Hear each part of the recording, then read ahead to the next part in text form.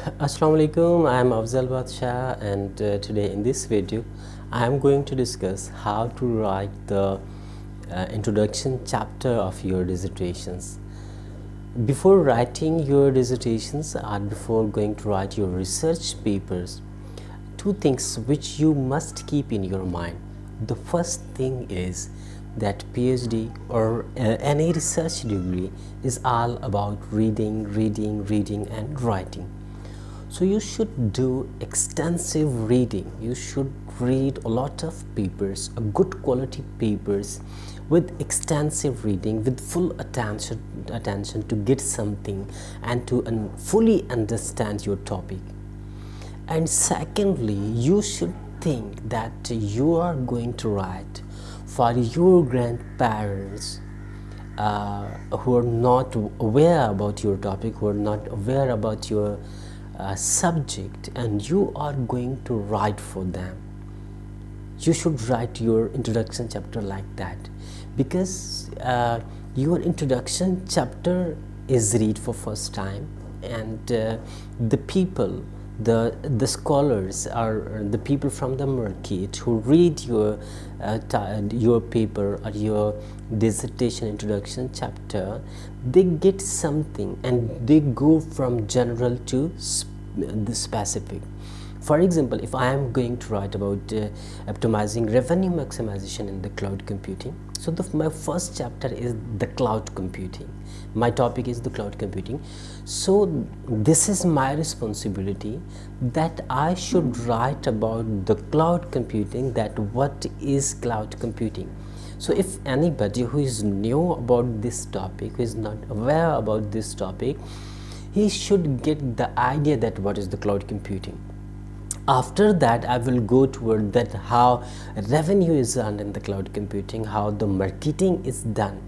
And after that how the revenue may be maximized in the cloud computing. So from the general to specific to get to give full understanding to readers to uh, to create a hook for the read readers to catch them the, these are uh, very important for your introduction chapter. And further that you have explained in detail especially in your introduction that what what are the main issues what are the main challenges and how you are going to handle that. If i am going to describe that in in which section you can divide your introduction chapter this may matter uh, uh, you may divide uh, in different portions. Every uh, every person use uh, their own thinking their own divisions.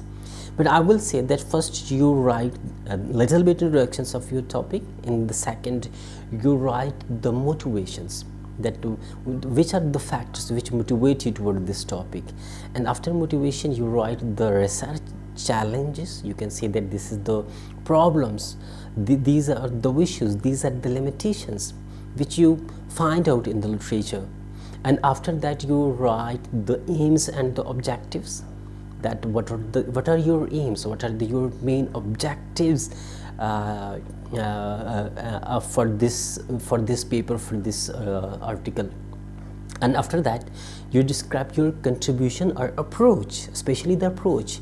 If you have some aims for example my aim is to maximize the provider revenue that which which is my approach? How will i do that? How i will uh, maximize the provider revenue?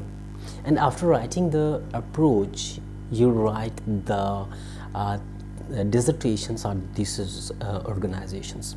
So let's let's explain these uh, all these portions one by one. The the first one is the motivations. In the motivation you describe in detail that what are the main factors which motivate you which uh, uh, catch you to work on this uh, this special topic and this special project. For example, uh, you will explain in detail but not exactly in words. If you are writing a technical paper, you are not going to write these in, in, in, in, uh, in plain text, uh, in simple paragraphs or uh, not giving any specific examples, uh, uh, specific uh, technical examples, equation, mathematical equations, etc. So if you are writing a technical paper, this will need uh, a paragraph, this will need a graph, this will need uh, facts and figures, especially the facts and figures. This will need uh, special images, this will need uh, facts and figures especially. So for example, if I'm working on the cloud computing to optimize the revenue in the cloud computing, what are the main motivations which I got for that? I have wrote in my own dissertations, I have uh, wrote a number of reasons, but the first two are that uh, the first one is that uh, it is estimated, this is a research, that about more than 50 billion devices are going to attach with the cloud computing up to 2020 and currently the world population is 7 7 billion people. This means that more than uh, the devices are greater than even seven times uh, from the total populations. This means that the world is turning toward toward the cloud. The devices are going toward the cloud. The traditional world is migrating toward the cloud computing. This is the you know, big motivation toward. So I, I i could refer this. The second one i placed uh, a graph which shows the revenue the total investment in the cloud computing which increase every year uh, and, and the ratio of increasing is very high. This shows that billion uh, dollars are going to invested in the cloud computing.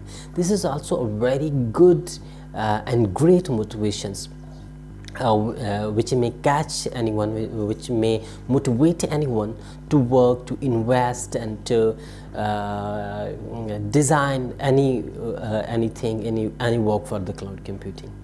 So you should uh, write your motivation such like that with facts and figures, with paragraph, with figures, with the graphs, with with some mathematical equations which will prove which will recommend that yes you, your area is good and your selection is good.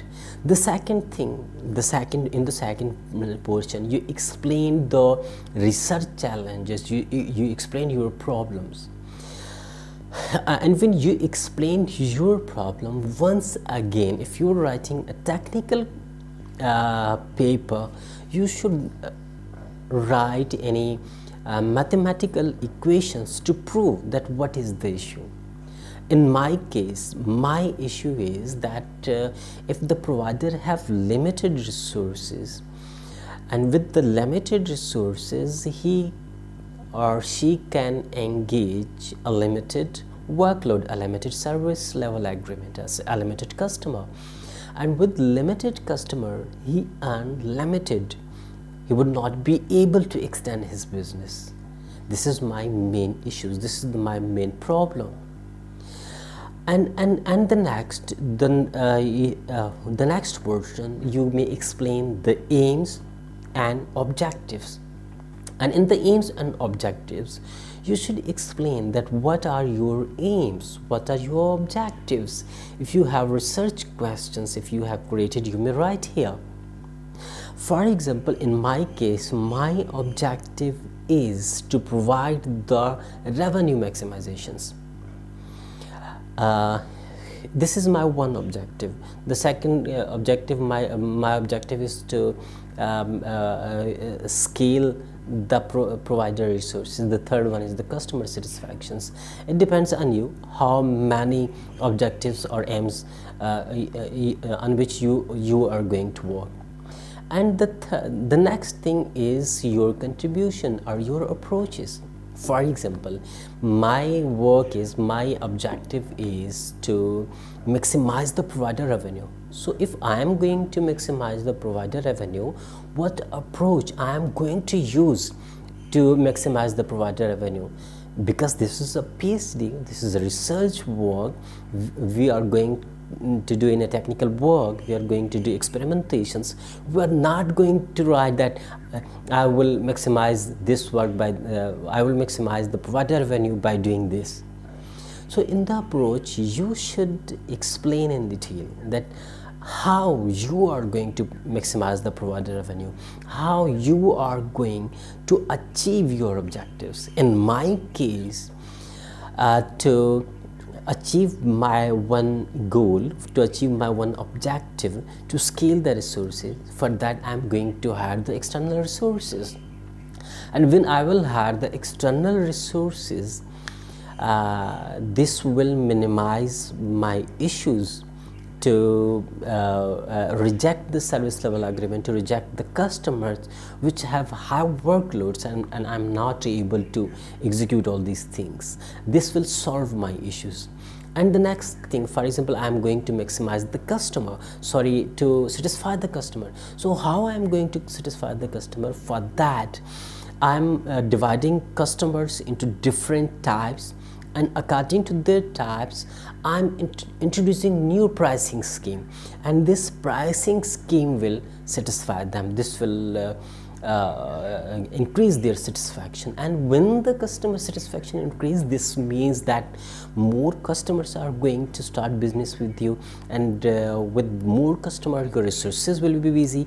And your resources busyness means that you're earning more the next part is uh, thesis organization. In the thesis organization, you detail discuss in detail then how your further thesis is organized. You have discussed the first chapter. This uh, this is not required to explain in detail once again, but further you will write in detail that, for example, the second chapter includes the detailed literature review, and if you have published any paper to for the literature review and uh, then you should uh, uh, you should write there that the part of this thesis the part of this chapter or this chapter is de derived from uh, from this paper and after that if you are writing a phd dissertation this means that you uh, uh, you have different publications you have different methodologies. And these papers you will include these papers uh, as a chapter in your dissertations. Then you should write the, for example the third chapter uh, discuss this thing and this chapter is derived from that and so on okay and after that at the end you give a draw you give a figure which will explain your thesis uh, which will uh, pictorially uh, discuss your thesis organizations. Uh, this this is also required. This is also mandatory because this will guide your reader that uh, how your thesis is linked, how your chapter organization and papers are linked with each other. So this was a short introduction uh, a short introductory video how to write the introduction chapter uh, of your dissertations and we will dis also uh, discuss further how to write the literature and other etc inshallah i will cover all the dissertations. Thank you so much for watching